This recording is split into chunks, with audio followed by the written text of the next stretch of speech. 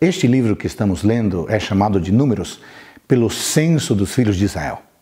A contagem deles foi feita no sopé do Monte Sinai no primeiro ano após sua partida do Egito, capítulos 1 e 2.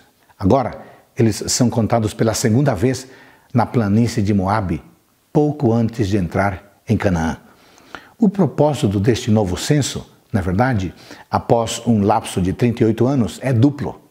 Primeiramente, foi verificar a vasta multiplicação da posteridade de Abraão, apesar dos severos julgamentos infligidos sobre eles. Em segundo lugar, teve que manter a, era necessário manter a distinção das famílias e fazer arranjos preparatórios para a entrada na terra prometida, para a distribuição do país de acordo com a população relativa a cada tribo. Ao comparar os dois censos, podemos observar que no primeiro havia 603.500 pessoas com mais de 20 anos. No segundo, havia 601.730.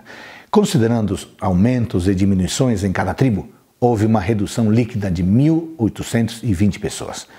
Agora, observe que o crescimento de Israel cessou por 40 anos. A diminuição mais perceptível é vista na tribo de Simeão, que teve uma diminuição de quase 37 mil pessoas. A tribo de Simeão foi a que mais se envolveu no incidente em Peor, no capítulo anterior. Zimri era um príncipe naquela tribo. E talvez a maioria dos mortos fosse da tribo de Simeão. Ao ler este capítulo, eu fiquei pensando no seguinte: nossas rebeliões, nossos pecados, nossas desobediências trazem problemas não apenas para nós, mas também para os nossos descendentes. Portanto, sejamos fiéis a Deus hoje. No futuro, a nossa família colherá as bênçãos da nossa fidelidade atual. Que o Senhor abençoe você.